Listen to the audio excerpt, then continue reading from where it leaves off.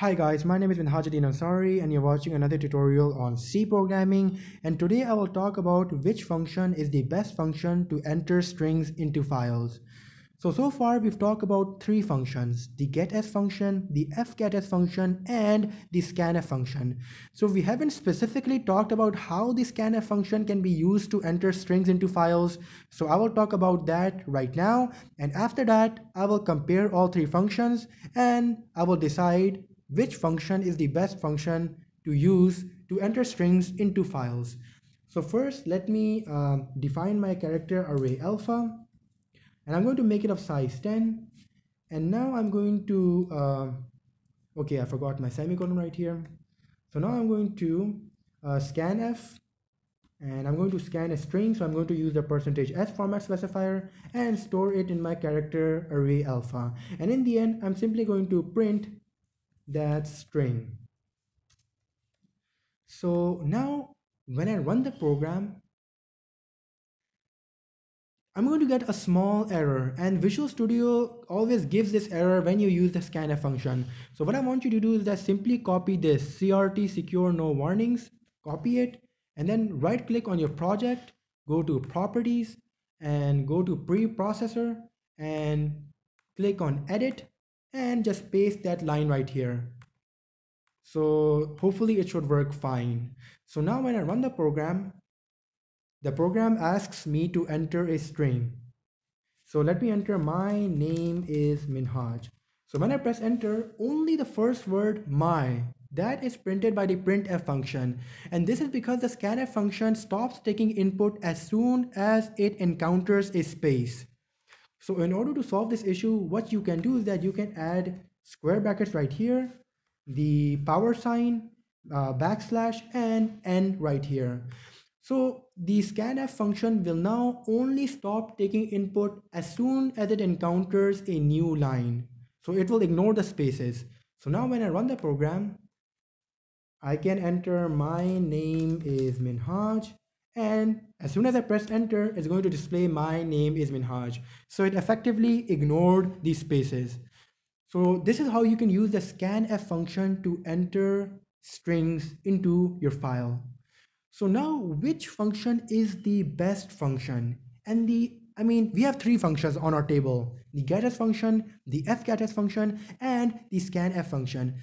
And the best function is the fgetS function because the fgetS function specifies how much characters the user should enter. So if you enter more than those characters, the fgetS function will stop taking the input. So it will only take input up to the limit specified in its arguments list. And we already talked about the syntax of the fgetS function. So right here in the scanf function, so my character array alpha, it is of size 10.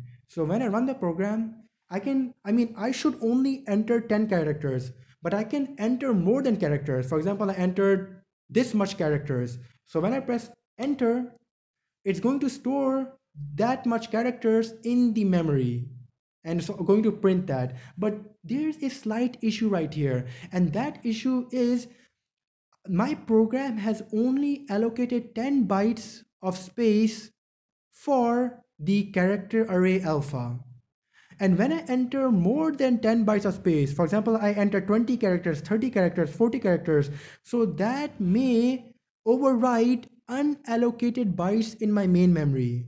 So bytes that were not allocated to my program, that were being used somewhere else by some other resource in the computer, that will be overwritten by the characters which I have entered. Because I have exceeded the limit of my character array alpha, the I have exceeded the amounts of bytes, amount of bytes allocated by the program for my use in the main memory. So that is why you should always use the fgetS function. And let me just write the fgetS function syntax right here to prove my argument. So fgetS, and right here you have to write the uh, your array and here you can specify the exact amount of characters the user should enter. So I'm going to write 10 right here. So if the user enters more than 10 characters, or more than nine characters because the last character is automatically assigned the null character. So if the user enters more than nine characters, the fgetS function will stop taking the input. And finally, the final argument should be your input stream. Okay, let me just close this. The input stream, I mean where uh, your keyboard, because you're entering characters from your keyboard. So it's going to accept those characters from the input stream and store it into your character array alpha. So now in the end, I'm going to print the contents of my character array alpha. So when I run my program, and I'm going to enter, for example, I enter a lot of characters. This is more than 10. So when I press the enter key, it's only going to accept 1, 2, 3, 4, 5, 6, 7, 8, 9. It's only going to accept the 9 characters and the final character will be reserved for the null character because this is a string. So it discarded the rest of the characters the user entered in the input. So this is all it about the getS, fgetS and scanf functions. Always, always use the fgetS function when you are taking an input which is a string from the user. Never use the getS, never use the scanf function because they cannot check if the user has entered extra characters. So it might exceed the size of the array. So if you have any questions, please ask them in the comment section and thanks for watching this video.